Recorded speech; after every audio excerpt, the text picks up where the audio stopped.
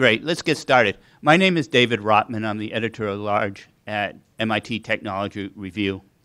So I write a lot about technology, a lot about policy, and, but I am really honored and appreciative to be here this morning and been listening to these great discussions. And what I've heard is a lot of mention of data and big data. So I think that one of the purposes of this panel is to dig deeper into what's real, what's not real, what's, you know, what we should be worried about, what we shouldn't be worried about with big data, and, and try to make sense out of um, this, this word, data.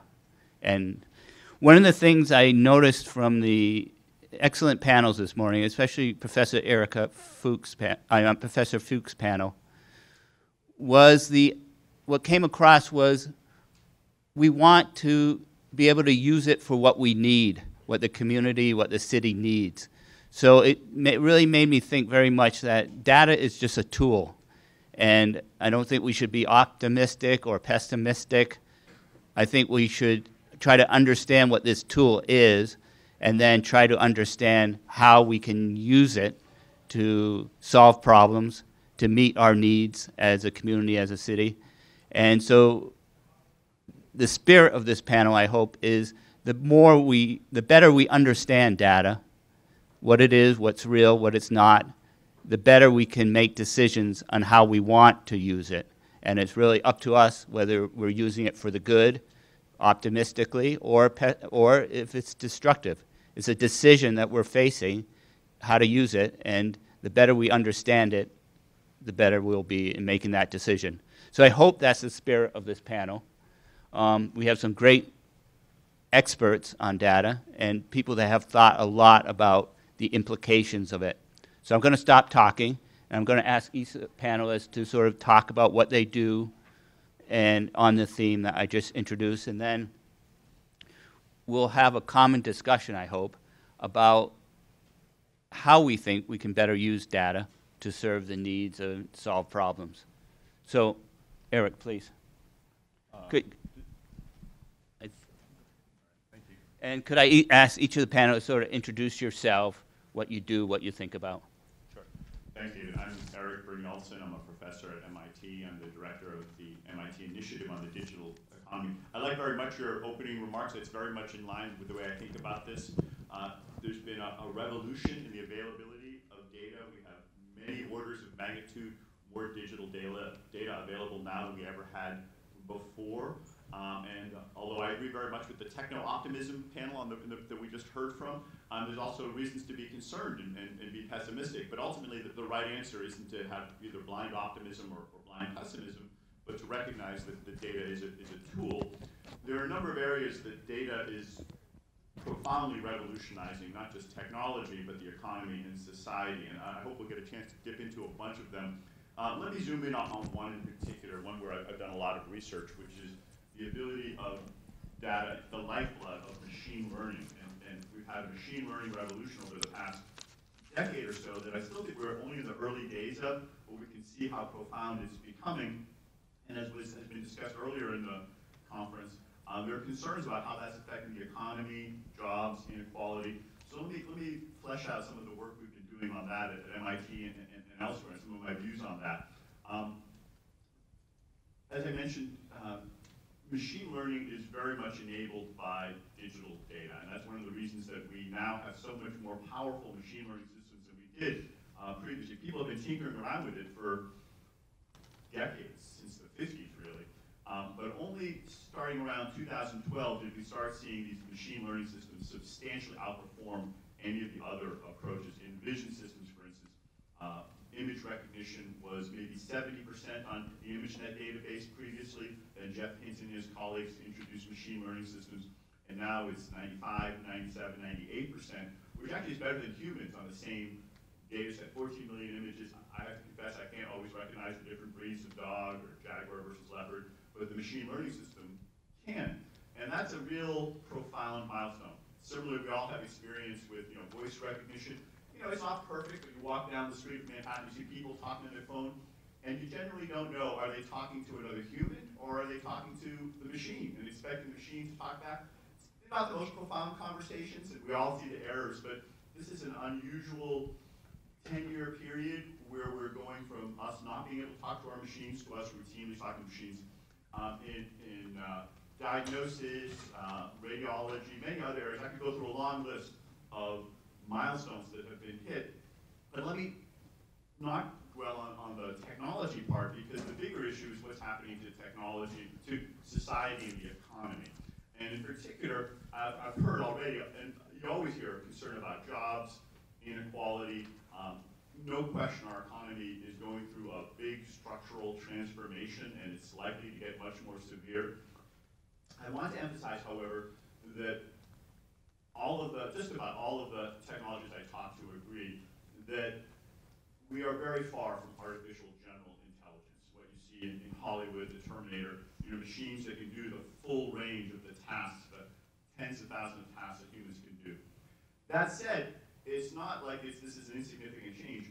What we do have is extremely powerful, narrow artificial intelligence. They can do particular tasks better than human, and that set of tasks growing very rapidly, and the quality is growing very rapidly.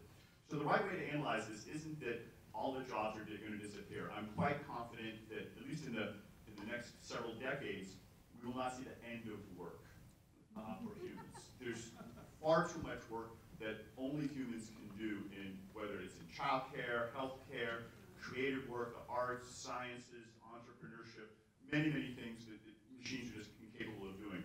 But in these particular tasks, we, do see very powerful machines. Um, and let me just pick one profession that I, I didn't discuss a lot. What, what I used to mention before, me, let me talk about radiology, a white collar job that maybe more of our, uh, our colleagues in this room are do those kinds of work. Um, and that's being very profoundly effective. Machines can now uh, recognize cancer, uh, lung disease, uh, many other diseases better than humans. Hardly a week goes by, I don't see an article in Nature or Science or arXiv where these are, are, are, uh, usually posted that shows head-to-head competitions where the machine is able to recognize these diseases better than human radiologists. But we've done a study um, of looking at the tasks that are suitable for machine learning. And while image recognition is one, radiologists do many other tasks. According to O*NET, a big data set of, of radiologists do about 27 distinct tasks. And uh, this data set is very nice. It's, it's enumerated all the occupation, all the tasks of thousands of occupations, uh, 18,000 tasks overall we've looked at. And uh, in the case of radiologists, they also uh, formulate diagnoses, they coordinate care with other doctors, they uh, uh, advise patients. These are things that machines are, are, not really capable of doing. They even sometimes do physical exams.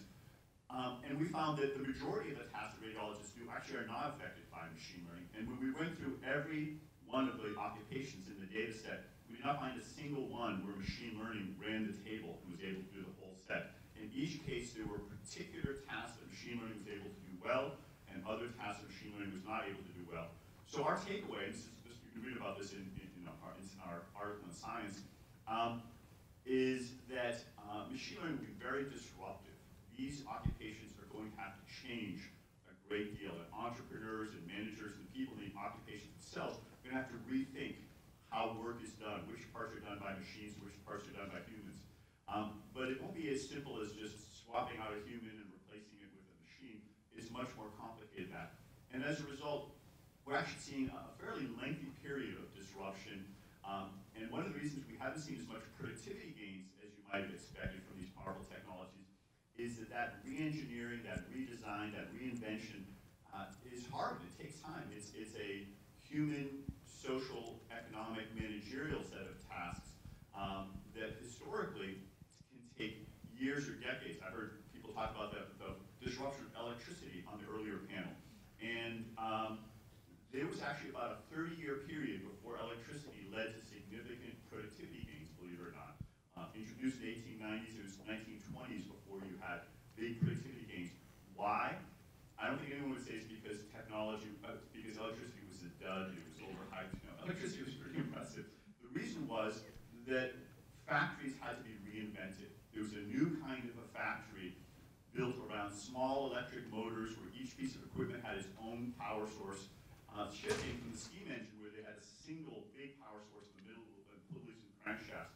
that reinvention of the factory was not obvious read debates about how you should configure it, and it, sadly, it took for it about 30 years, which not coincidentally is about how long it takes for a generation of managers to retire or die, and a new generation of managers to come in with a new approach.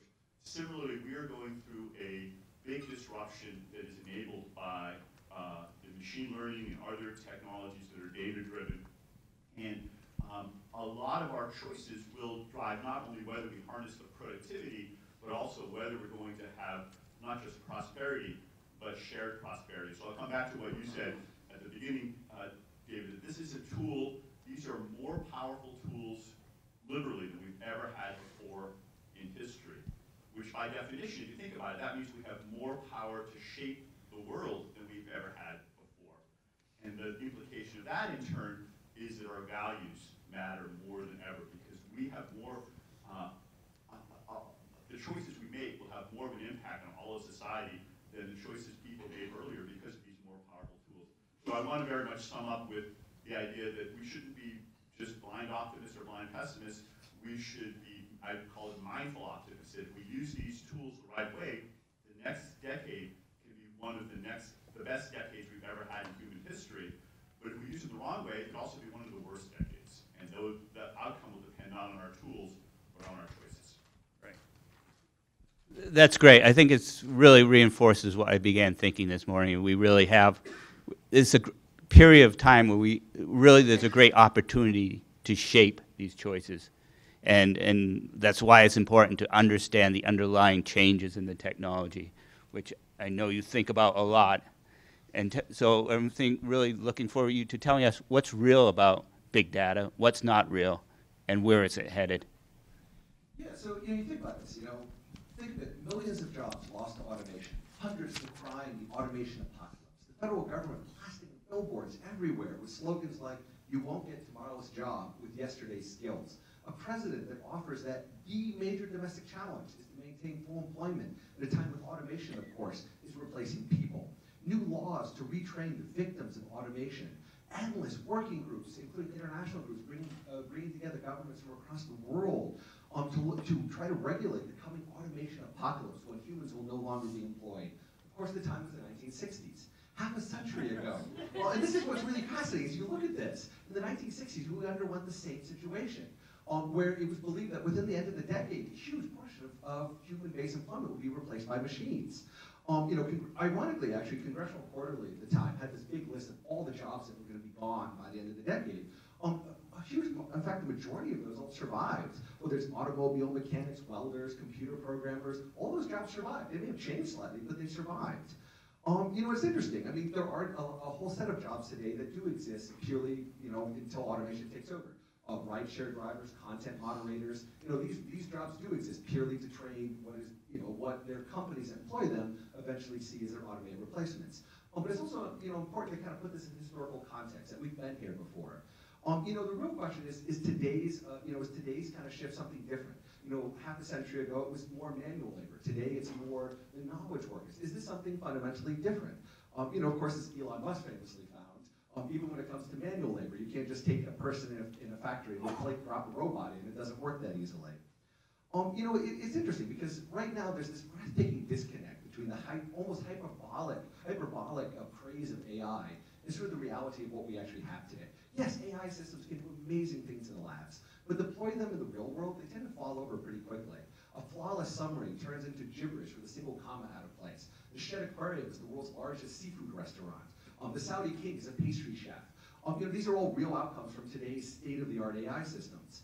Um, you know, today's quantitative AI systems are just that. They search for simplistic correlations. Um, they lack the real-world knowledge to actually understand what those patterns are. They don't actually understand what they're learning. They just find that, hey, there's patterns in this data. Um, any patterns. That means that they require enormous volumes of highly diverse and representative training data, which is rarely uh, existent. Even driverless cars, many of the driverless cars today key parts of that technology, especially things around, for example, when to actually start the car or stop the car at a stoplight. Um, those are still hand-coded in a number of the current systems that are deployed because they don't trust machine learning to under to learn all those disparate cases. Um, so, you know, is it posed to take over our jobs today? Not quite yet, and neither is the is the world of big data. Um, you know, the world of big data, you know, we, we have this wonderful catchphrase, big data. Um, yes, it's true, the data is everywhere, it's being hoovered up on us every moment. Um, you know, we talk about China's social credit system as something unique. That's existed here for quite some time through Silicon Valley. You know, your Uber driver gives you a score every time you step out of the car. Um, social media companies quietly assign risk scores to you all the time. The public square in the digital world is private property.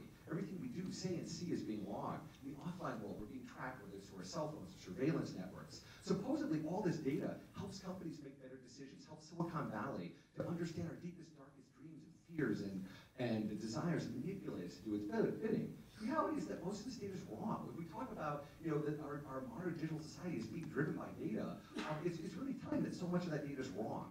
Um, when we talk about data and privacy, we tend to talk about Silicon Valley. It's the data brokers, really. It's the whole industry of data brokers that really are the Orwellian. Um, in, a, in a piece recently, um, I went and to all the companies that Facebook uh, formerly bought its data from, the data brokers, requested all that data. 75% of it was wrong. All the critical fields were wrong. And, you know, it, it was so wrong to be almost comically wrong. Um, and what's interesting about this, and, you know, then you look at social media. You know, Twitter's dropped from 500 million tweets a day to 340 million tweets a day. Um, it's risen to 50% of tweets are retweets, 12% are retweets uh, verified users. GPS tagged uh, maps should never have even existed. Um, you know, we talk about all these things, the representation of social media. We talk about all these things, um, but we don't actually, very few people actually study the, uh, actually, actually stop to ask the questions of the data they're using. Today it's kind of like, here's a data set, I'm gonna grab it and run with it. I'm gonna plug it in algorithm, get a result, and run with that. Um, you know, we, we, we grab all this data every day without asking the questions about it. Um, you know, I spent 20 years working with most of the Fortune 500. You know, these are the companies you read about every day. Oh, they're using AI and big data. And look at all this amazing success they're having. Then you actually sit down with them and actually work through and actually work with them. It's amazing the companies have become bankrupt. I mean, it, it's amazing that horrific quality of the data, the tools that are out there today. Um, when we used to build algorithms by hand, um, we got to really know our data, its limitations, its nuances. Today, you just grab whatever you can download for free from the web, shovel it to algorithms, and out it goes. We talk about biased data and biased algorithms as if this is some kind of inevitability. It's because trillion dollar companies don't want to spend the money it takes to generate or collect data that actually represents our diverse world. Um, you know, we talk about, you know, our fears in AI future. We can't rush forward fast enough. Driverless cars have actually killed people. Um, but you're not rushing to say, hey, we've got to put a hold on this. You know, pedestrians have been run over. You know, these are people that didn't even sign up to be a guinea pig. Um, and yet, you know, we're not, we're rushing. You think about the, you know, automation led to two plane crashes. Um, the reaction from the regulators is not, well, we got to pull back on automation. It's, you know what, we got to push the human completely out of the cockpit now. Um, you know, this is a really kind of interesting world. We talk about, um, you know, that, hey, you know, we, we need to delete Facebook. Privacy is so important to us. But yet, we don't delete Facebook. Um, you know, big data, it can do amazing things. In fact, my data was actually used um, to send out one of the very first alert, the first extra alerts to the coronavirus. Um, you know, it has incredible applications in, biz in business and medicine and these other areas. But this idea that big data is turning us into mindless robots is going to allow these companies, um, you know, to, to do so much to us. There's a lot. There's, there's a lot of falsehood to that. Know, Cambridge Analytica got so much credit for 2016 election. People forget Ted Cruz was actually the first to deploy it. It didn't end up so well for him. Um, you know, so much of this hype about you know data. Yes, data and AI have incredible potential. They're being used in incredible ways in many industries. Um, but the problem is that there's kind of this broader hype that my God, you know, the singularity is right around the corner. That you know, my God, data. You know, we're mindless. Uh, you know, drones to data. It, it's, it's not quite the case. Um, you know, the impact is incremental. It's having impacts in certain key fields. This idea that you know it's going to replace it. Yes, it's, I mean, it's really the same fears we had half a century ago. It can do some amazing things, but you know, today's generative AI has very real limits the data that powers our modern systems has got so many issues to it. So in the end, yes, it's changing a lot, but the reality is much more mundane. We're going to have this continual process forward.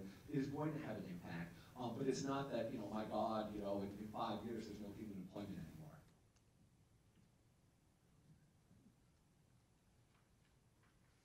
Hi, everybody. I'm Laura DeNardis. I'm a professor and this year also the Dean of the School of Communication at American University. So I live and work in Washington, D.C., and it's great to be out of Washington today and up in New York. I like to be here. Um, I have, I'm an internet governance scholar. Uh, that's what people call me. Anyway, I'm an engineer by training. But I study how arrangements of technology are also arrangements of power. So I look at the technology and I analyze it for the uh, public policy and human rights implications of that. And I also look at it from a legal standpoint. And uh, before I joined American, I taught at Yale Law School. So I was there for five years. Uh, so law, technology, and the public policy implications of architecture. And I think the reason I'm on this panel is because I've just written my, um, it's now my sixth book about internet governance, and it's about how the internet is no longer in through entered through display screens, but it's in the physical world all around us. So it's called the um, the internet has a scary eye on it. Uh, the internet in everything, freedom and security in a world with no off switch, and to convey the message, you know, just in, in, in direct response to the prompt, where is data and what is big data doing? It is now not uh, related to humans as much as it is objects. There are far more things than people connected to the internet. And uh, someone said, why don't I just read the, uh, the first paragraph of my book, if you'll just indulge me. It's, um, it's, a, it's a fiction work that's based in reality, the, the first paragraph. So I challenged myself with the question, what would the internet be doing if humans suddenly left the earth? If humans suddenly vanished from Earth, the digital world would still vibrantly hum. Surveillance cameras scanning streets from Beijing to Washington would still stream video. Self-driving trucks would haul material around an Australian mine. Russian social media bots would circulate political propaganda. Internet-connected thermostats would regulate home climates. Robots would move merchandise around massive warehouses. Environmental sensors would gauge air pollution levels. A giraffe wandering through a game reserve would trigger a motion detector that opens a gate. Bank accounts would make mortgage payments. Servers would mine Bitcoin until electricity stops flowing. Cyberspace lives. And I wrote this to try to capture how far digital systems have leapt from human-facing display screens into the physical world of material objects all around us. The main idea of that and how it's relevant to how this is a disruption, this is the data and disruption panel, that this disrupts internet governance and human rights in every way because the internet is no longer a communication system. It's a control network in which more things than people are connected and in which conflicts over that infrastructure are a proxy for political power. And we see that in many ways. What that means, though, is that we have to not think of the digital world and the physical world as distinct. And I, I noticed the three uh, case studies uh, from yesterday, and I'm, I'm sorry that I couldn't, I was, um, I had two book talks yesterday, I couldn't come yesterday, but look at these case studies. The future of agriculture, the future of manufacturing, the future of healthcare. What they all have in common is that you can't really distinguish the physical world from the digital world anymore. All of these have deeply embedded cyber components in the physical materiality around these industries. So the whole world right now is, is fixated on content, important content issues online. Fake news, disinformation, political propaganda, hate speech. But to me, I wrote this book because I think the far more consequential issue is that the internet is deeply embedded in the physical world. The stakes for society could not be higher. So as the internet has leapt from 2D into 3D, internet governance has to also leap from 2D into 3D.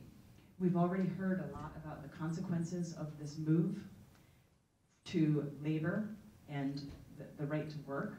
We've heard about the consequences for privacy where instead of a privacy breach being about disrupting um, or, or, or discovering the contents of my email, it's about discovering the contents of what I do in the most intimate realms of my personal life and our personal lives, in our homes, in our bedrooms, in our bathrooms, in our kitchens, in our workplaces, in our cars.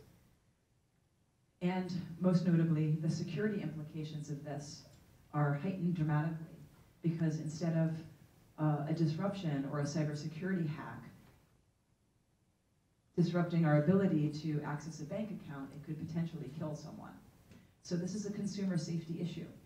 Now, I'm not a dystopian person, and the book is a, is a very positive view of technology and the ways that all of these connect to economic efficiency, to our ability to uh, have human flourishing and to live and and anyone who has a relative with Alzheimer's uh, or uh, maybe has a disability themselves, purely understands how these technologies help.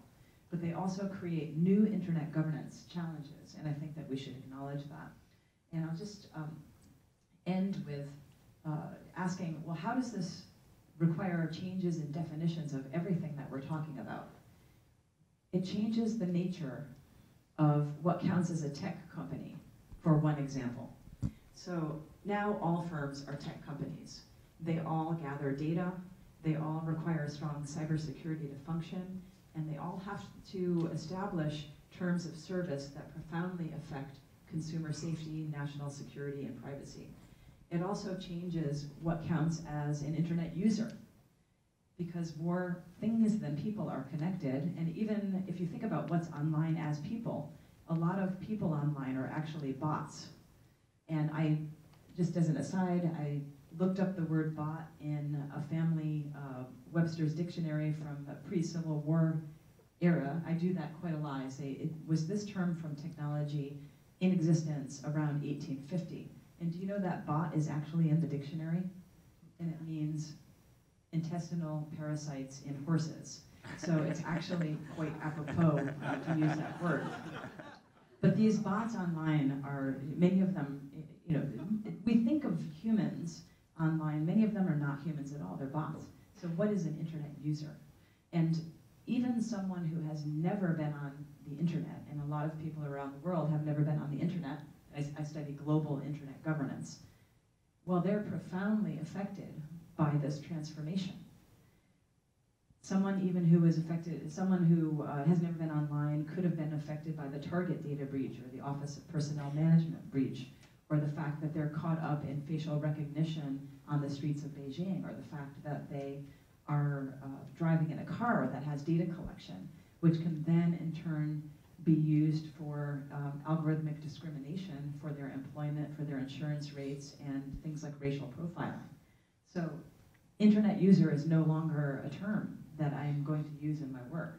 And then finally, it disrupts uh, the category of what counts as freedom online. Um, so I'm a big free speech advocate, I always have been, but it, values around internet freedom have to really turn more towards cybersecurity than anything else. If you think about what this transformation, trans, uh, this transformation means for national security and for our ability to stay safe.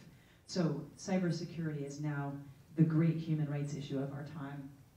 And I, I posit in the book that this transformation of the internet from a communication system to a control system and the internet being in everything, if you think about the consequences of it, it may be a more tra profound transformation than even our move from an industrial society to an information society.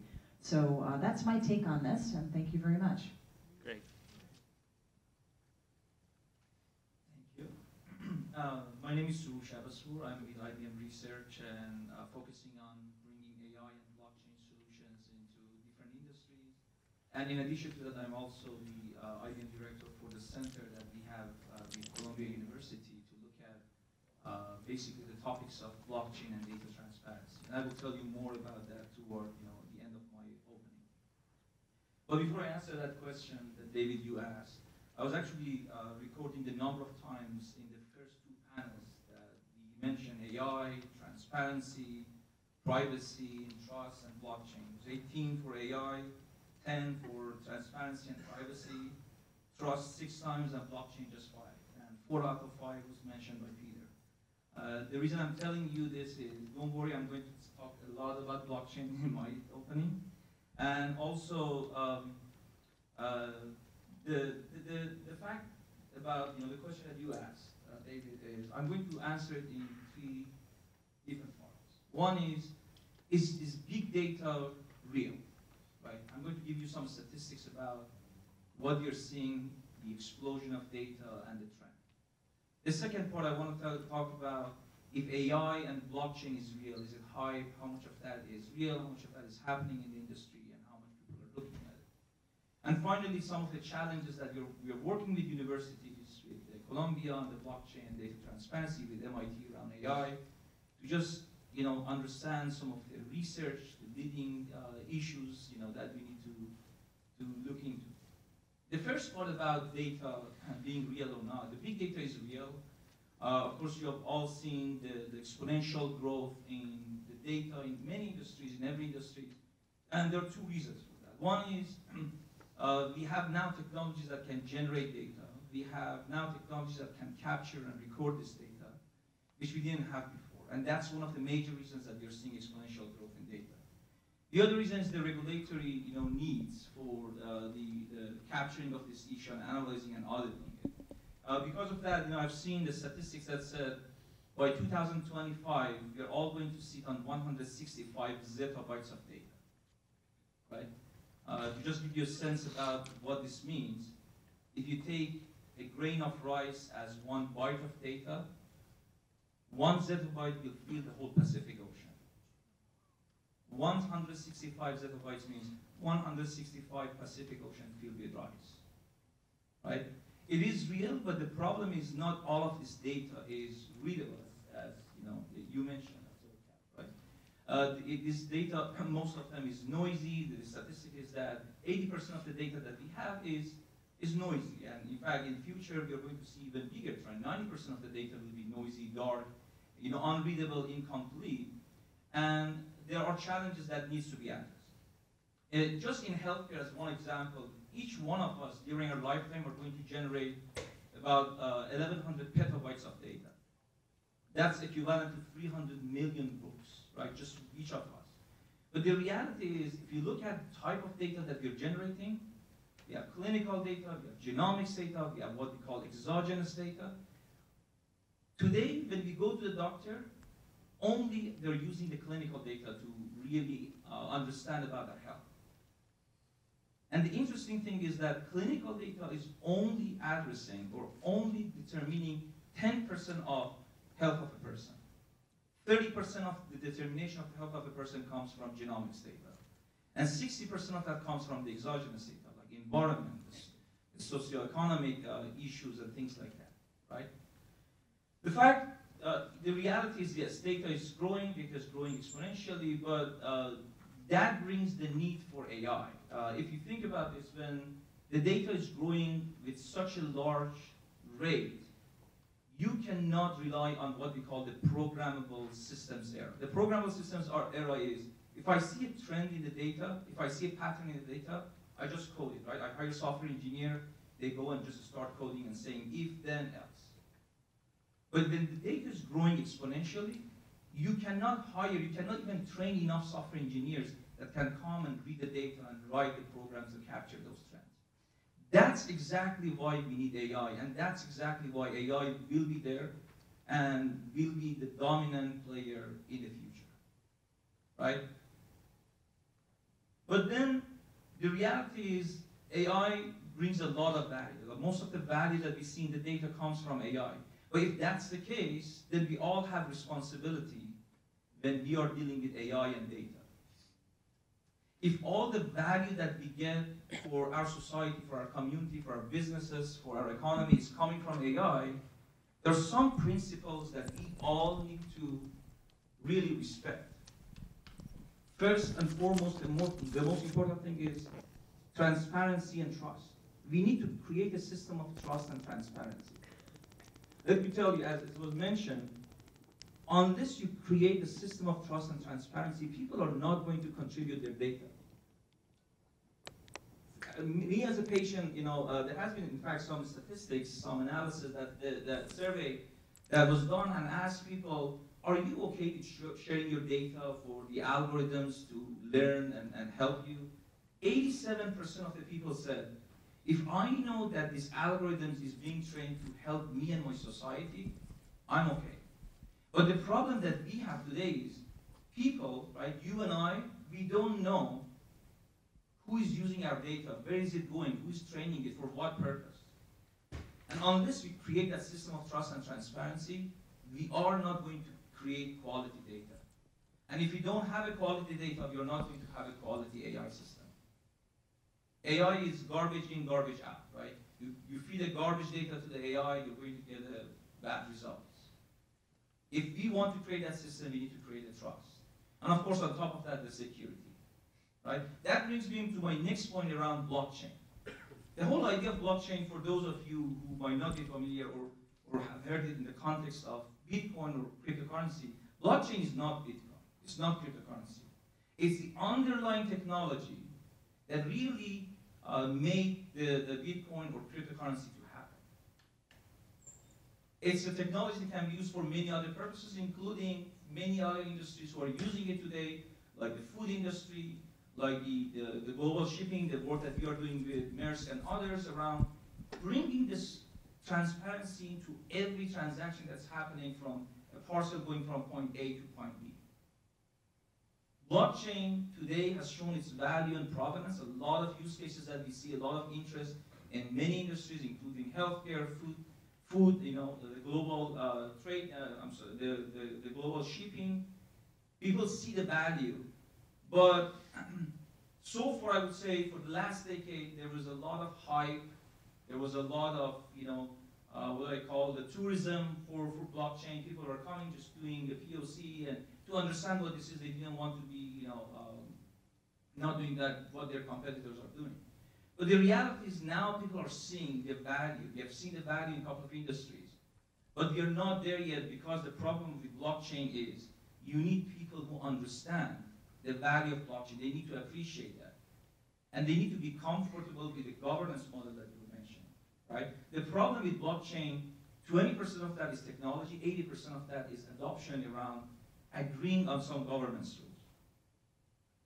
And, and because of that, uh, I want to end on that point that, uh, of course, on AI, there are some challenges about bias that was mentioned, fairness. We are working with universities, and I think we all need to do that. We need to work with government, with universities, to understand these challenges and try to solve them.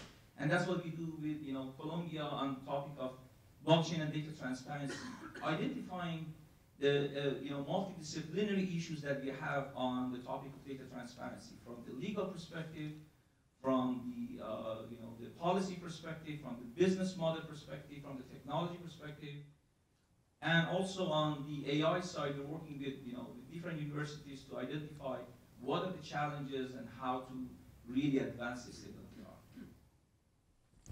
Great. Um, and, and find all this fascinating. One, one question that came to my mind as I was hearing this if we're thinking how we can better use big data, big data for, for increasing prosperity as widely as possible, and, and to your point, people are willing to share their data, but they want to know why and how it's going to benefit us. So I guess the question I began wondering is who owns the data? Who controls the data? And right now, and is there a way to not sort of give use data as just a business power tool, but to more broadly share it, to give it more broad control so that society can use it for, for its own benefits. So I guess the quick question is who owns the data, who controls it, and who should? And is there a way to change this? So why don't we just go right down, because I'm curious on everyone think, thinks about this. I think this is a this is a good example of how society and our laws are not keeping up with Mhm. technology. It used to be that the laws of physics prevented people from looking what's in my file cabinet or what my doctor or my insurance company had. Now, with things in the cloud, um, it's possible for lots of people to have access to that. So we have to have specific rules about who's going to own it. And the traditional rules of, of copyright and, and uh, data um, ownership are inadequate. So people like Sandy Pentland, my colleague at MIT, and, and others are working on a uh, framework to make data ownership more explicit about who creates it and how it's created. I don't think, I, think it's often say, well, we own our data. That, that's a, a sort of a quick, glib kind of answer, but it's more complicated than that because most data is created jointly from interactions among multiple people, and then you have to be explicit about which, which parties have which rights to it and how the value is going to be created. Um, so I don't have a, uh, a silver bullet answer to that question, but it, it's something that um, I'm hoping to hear from my co-panelists maybe a, a better answer. You know, it's a fascinating question because, you know, with today, especially in the AI world, um, you know, most of the data that's being used, that's actually one of the, sort of the rules right now in the AI world, one of the governing things is that these large AI systems being trained by whatever data, whatever data companies can freely get their hands on. Very few companies are actually paying to create large data sets that eliminate and, and, remove a lot of bias. Um, and it's interesting because you think about it, in the digital world, we don't own our own data. You know, what's in our house, we have some control over. it. In the digital world, um, anything that's out there is, is, is fair game. Um, and it was interesting because when I was looking at the data broker community, um, it was amazing. Um, you know, when I reached out to data brokers, um, the general answer was, "You have absolutely no right to see what we hold on you. Um, you have no right to know how much money we make on you. You have no right to know any of these things. Um, you don't even have a right to correct what they hold on you." And that was what really struck me. And it actually started because I started getting all these AARP mailers. Um, and so I reached out to AARP, and they said, "There's a guy in his basement in New Jersey." Um, that is selling, you know, that apparently is selling records saying that, you know, you are over 65 years old now. Um, and that was what really struck me was when I reached out to this to this guy in his basement in New Jersey. Um, the answer was legally you have no right to know what we hold. Legally you have, you have no right to anything. Um, and that's what I think is, is so fascinating here is that you know as we externalize our minds now, you think about it more and more. What we do, our calendars, our thoughts, everything, we're writing down in the digital world. We're expressing them in some form in the digital world. So we're essentially externalizing our mind. But at the same time, all those traditional rules against search and seizure, a lot of the legal rules that govern all these things, none of those apply in the digital world. Um, and so that's a really fascinating one. In fact, you look at one of the ways that that um, the government's getting around encryption right now here in the U.S.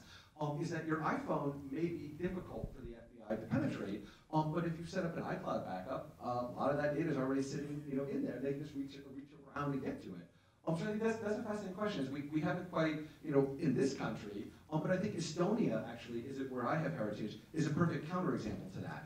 Um, every single piece of information the government holds, you control. Um, you control access to this. You have a record of that. If you're a doctor, you go and see the doctor. Doctor pulls your medical record. You actually get an alert. You actually have a record of that. You know, back before it was called blockchain, known as time hash. Um, and so, you know, this. So the government of Estonia has this record, which is immutable. Um, and this is what's really fascinating. You control, if, you, if you're an Estonian citizen and you want to contribute some of your data to a project, you have to manually authorize each and every project that wants to use your data. You can revoke that authorization at any moment, and any usage, you see a log of. So it doesn't have to be this way. It doesn't have to be this, this way that you know, we have here in the US, um, which is, you know, whatever a company can get their hands on is fair game and they own and they can profit from. Um, there, there are these alternatives that I think, you know, we need to think more about. How many of those rice grains that were talked about are actually human-generated content? Not very many. And I think that's a critical backdrop to answering this question. So we just can't think about data as content through social media, through healthcare records, through financial records. Um, a very large percentage of the data is actually metadata it's data that's gathered uh, from engineering characteristics of the underlying infrastructure, and it's data that's gathered from sensors that were discussed in one of the panels earlier. So this is, we have to, we have to, in order to answer that question about who owns data, you have to think about data not as a monolithic category and, and certainly not just as something around human content. So if you have, if you agree that it's a heterogeneous category, then you have to acknowledge that it is a multi-stakeholder answer to that. So who owns and operates the infrastructure that creates and generates this data? The private sector, uh, telecommunications companies, registries, interconnection companies, the domain name system providers. Um, so there are, there are, there's layer upon layer upon layer of companies that use, that generate data and use that data for engineering efficiencies, for, and for all kinds of other purposes, some good and some bad. So I would say the answer is um, it's distributed over the private sector and individuals and new global institutions and in some cases governments. I think I don't know who owns it, but I think I know who should own it, right? Who should own it is you know you and I, right? We need to own it, and um, we should be also in control of that. The problem is this: uh, today we go from one doctor to another doctor. I'm just talking about healthcare because that's the area I've been focusing. For me to go from one doctor to another doctor, I cannot even get my medical records translated, right, tra transmitted. I need to go and do the lab test again. I need to do the imaging again because we haven't designed it because really the reality is we don't own it, right? Or maybe it's called the it, but we don't even can control it. In fact, healthcare is one of the industries which is really one of the few industries which is not designed around the consumer experience. Look at any other industries around consumer experiences except healthcare. Um, this is one of the areas that I'm passionate about, and I think honestly, blockchain could be a solution to help bring that transparency and control in the hands of the consumers, right? I'm not saying they're there yet, but this is the area that I see the stakeholders in the healthcare industry are moving into to make the experience for the consumer better in that sense. But but we're not there yet, right? Um, I don't know if I answered that question, but that's. I- Yeah, I think all these perspectives answer to the question in, in a different way. I want to sort of ask the audience for some questions, so begin thinking. Um, I just had one before we go to the audience. I, I, I began thinking as you all spoke. You spoke about productivity, and it hasn't improved as much as one might hope, and there's been sort of productivity um, paradox. And you spoke about you go to the doctor and they maybe they use some of the AI or, or data on a on the clinical side, but none on the genomic side, and none on some of these other variables. So it feels to me like we're still just not just tapping just a bit into the potential here. And I would like to get quick from each one of you of you, you know, sort of how can we expand that? How can we increase productivity? How can we, on the medical side, you know, so the doc- doctor isn't just looking at one lab test, but is considering all this data? So how, how can we expand this? So those answers are very much related, and they're part of the same problem, which is that we have some breathtaking breakthroughs in the technology and, and obviously data availability. I love that first paragraph of your, uh, your book. It, it's, uh, it's really quite compelling. Um, but our, our processes, our institutions, our management are, are not anywhere close to keeping up in terms of, in, in healthcare, I think is one of the ones that's particularly lagging. So the data is there in different silos, but we don't have mechanisms for, for having hospital share or uh, incentives to make them want to share. I think part of the problem is that they don't want to share it because they want to hang on to those uh, customers, those paying customers, or we call you know patients. So, so what we need to do is um, uh, spend as much time or more time reinventing our organizations, as we did in the example of electricity. And in, in, my articles, I have a, a, book called AI in the Modern, Product, uh, sorry, an article called AI in the Modern Productivity Paradox that goes through how this is a, a recurring paradox. Every time a major new technology comes along, there's always this puzzle of slow productivity growth with the steam engine, with electricity, with the automobile, with computerization for that matter. Um, and in each case, it's because we haven't reinvented our organization. So I, I, would like to see us spend more time on that part of the problem and not uh, worry as much about just simply pushing the technology frontier further. If we do that, we can. I think we can harness, and we. I, I suspect we will harness very large gains. The pattern that we've seen in, in the past is what's called a productivity J curve, where initially productivity actually falls a bit as people are reorganizing and reinventing, but then later they harvest um, all of that and more, and the payoff um, comes, but sometimes after five, ten, or more years. Yeah, I mean, I, I think actually Estonia is an model in this particular case, in that you know the Estonian model. Um, if you change doctors, if you're traveling somewhere elsewhere in the country, and hey, you need to go to another doctor, your records are all centrally are all centrally there. They're shared. They're controlled by you. Um, but what's also interesting there, speaking of like medical research and genomics, um, Estonia has this really fascinating genomics uh, research program that they're doing right now, uh, where they're asking people to contribute data to that. Um, but again, because you know every citizen controls their own data, it's a very voluntary thing where each individual citizen decides which of their data to contribute to that, which parts of that, under what conditions do they want that to be you know part of that. And I think this is a really interesting model that when people have more control of their data, more of an investment in that, it's not, well, you know, hey, I want Facebook, I want to use Facebook for free, so I'm going to allow it to hoover up my data and do whatever it wants with it. I want to use Twitter for free, so I actually allow Twitter to actually resell, actually literally back, back uh, you know, zip up my, uh, zip my uh, tweets and sell those to people. Um, you know, I think it's an interesting model. We kind of shift to this model of more control. And people say, well, that's impossible. That can never happen. Well, it does happen. Um, but I think it's also interesting too. Once you have more of that automation of things, like like the former president of Estonia, Ilves, um, one of his you know, famous things, you can't bribe a computer. Um, that because, as they took their government, so for those who don't know, the Estonian government, um, everything's digital there. So all your services, you can, you know, you file your taxes from your phones in five minutes. Of voting, you actually, they anticipate that there might be uh, interference with voting. So you vote from one device, like your computer, you verify your vote separately from another device. So even if one's compromised, you see what was actually registered for you. Um, you can vote as many times as you want up until the moment uh, that voting closes, because they even anticipate, I think this is something technologists don't often think about, is they build technology, they don't think about how it might be used in real life. So in the Estonian system, they assume, well, you know, maybe you're a factory worker, maybe your boss says, you know I want you to vote for this candidate, so I'm gonna watch you vote to make sure that you do this. Um, so that's why you can vote as many times as you want, so you can just go home and vote the way you want to vote. Um, and so there's all these controls because they've really thought about what are the ways in which technology can be misused, what are the ways it can, it harm. Um, and specifically, the digitization of their government really came about from that idea that if everything's digital and there's no humans in the loop, um, there's no one to bribe, there's no one to, you know, to, to work things another way. So I think that's kind of an interesting model of when data and technology are, when we really think about the second order effects of that, we, we restore that control. I think there's some real interesting things there.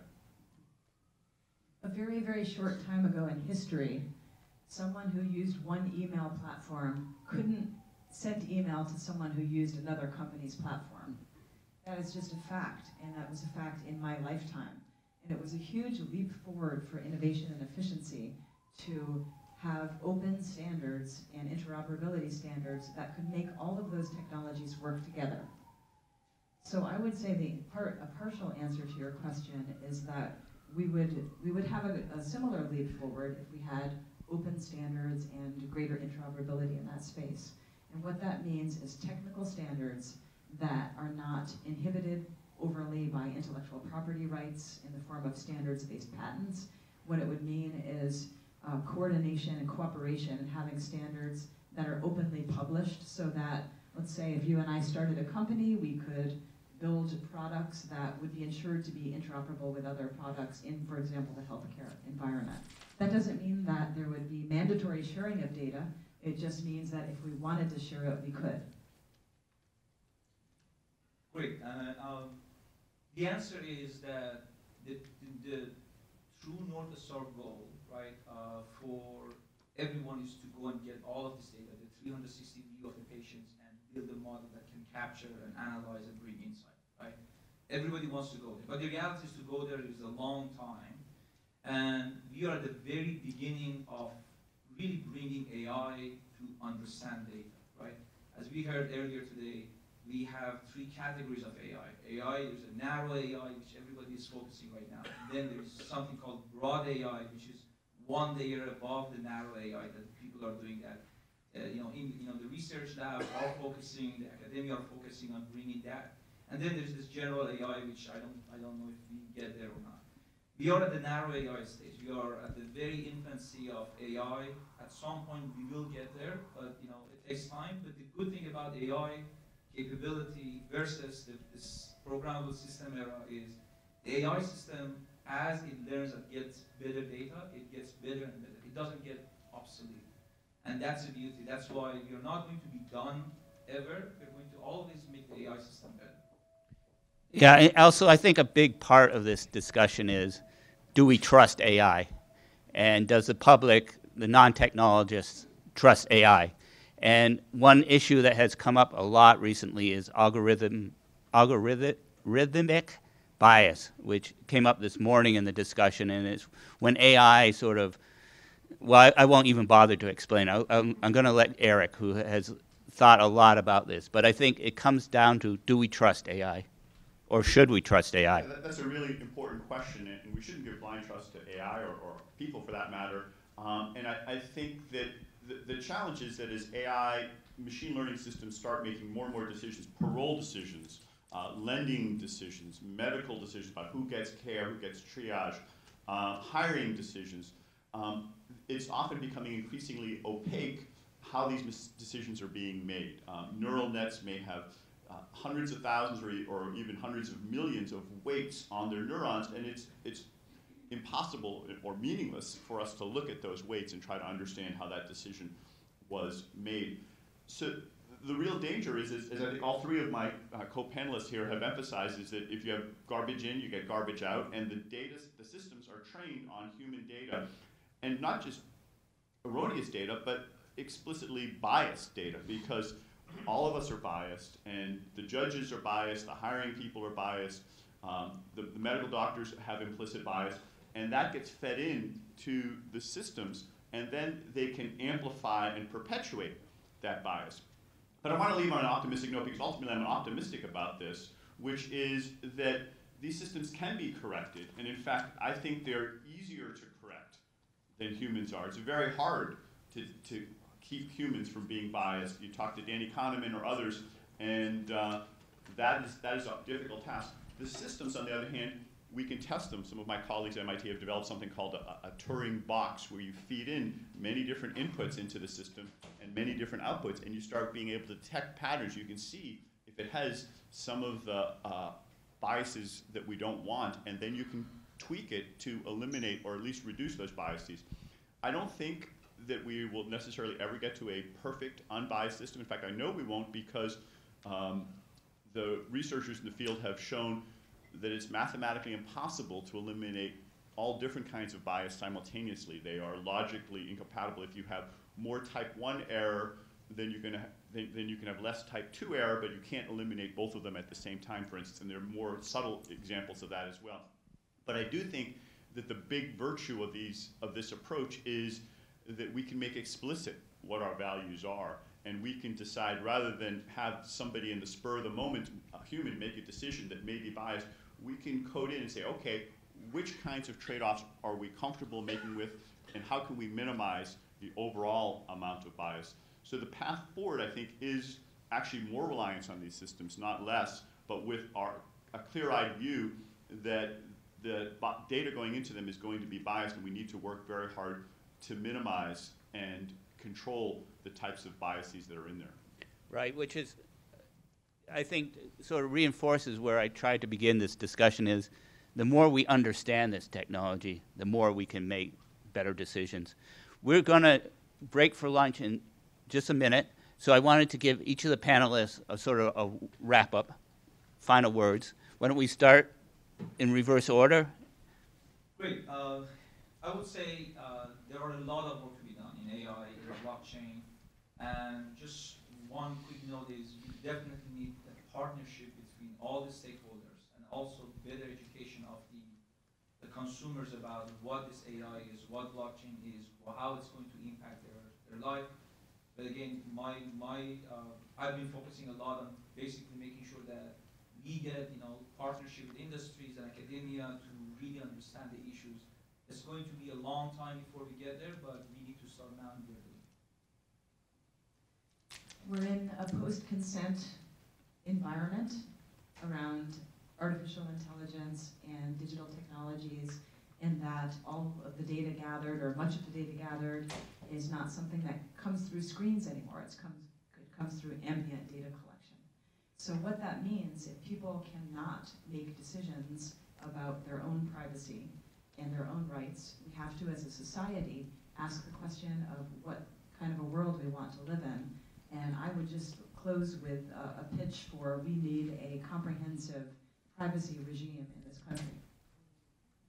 Yeah, I think, you know, real quickly on the, the AI fairness thing, I, I think one of the challenges is because we're relying on, on free data. We're relying on what companies can get free um, instead of saying what is the data that would actually represent, um, you know, the, the thing that we're trying to build AI to replace. And I think specifically in the corporate world, companies have really focused on dropping AI in to replace a person. So they say, here's a person, have the machine watch them, uh, and then basically mimic them. So that means that it learns all the exact biases it learned. It basically does things the way they did.